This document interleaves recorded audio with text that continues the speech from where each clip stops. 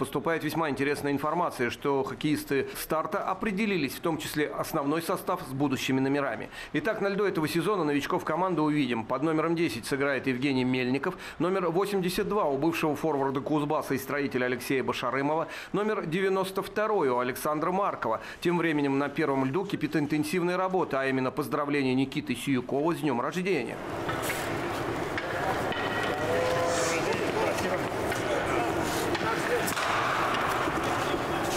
Продолжая наблюдать за первой ледовой тренировкой, узнаем, что Андрей Хроменков будет теперь выступать под номером 42. Это автомобильный код Кемеровской области, откуда Андрей родом. А Сергей Даданов под номером 24, как, к слову, его старший брат Павел Даданов, ныне выступающий за хоккейный клуб «Кировец» из Уфы. Однако эта цифрология не влияет на характер подготовки к сезону, все стараются. Это мой регион, Кемеровский, и я хотел просто, чтобы он был у меня на спине. Мы все этого ждали два месяца.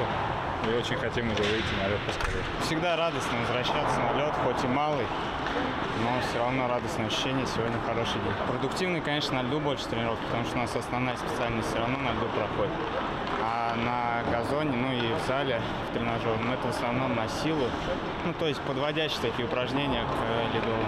Здесь в тренировочном ледовом движении узнаем, что опытный защитник старта Анатолий Голубков теперь будет играть под номером 4, а нападающий Владислав Кутузов под своим любимым номер 7. Впрочем, номерные перестановки не влияют на серьезный характер ледовой подготовки. Но первый лед он всегда в какой-то степени и волнительный, и праздничный такой, да?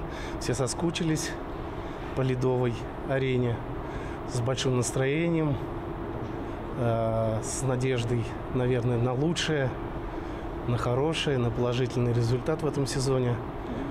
Так что настроение боевое готовимся к Кубку страны. А еще стало официально известно, что старт вместо Ульяновска поедет в Кемерово, так как матчи первого этапа Кубка России по хоккею с мячом этого сезона в группе «Запад» пройдут на территории Кузбасса.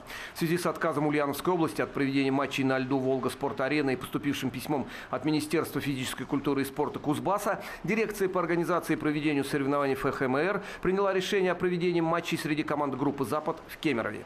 Матчи пройдут на льду стадиона «Химик» в ранее заявленные сроки с 13 по 20 августа этого года. Кроме того, решением дирекции хоккейный клуб «Кузбасс» сыграет на первом этапе Кубка России в группе «Запад», а хоккейный клуб «Водник» в группе «Восток».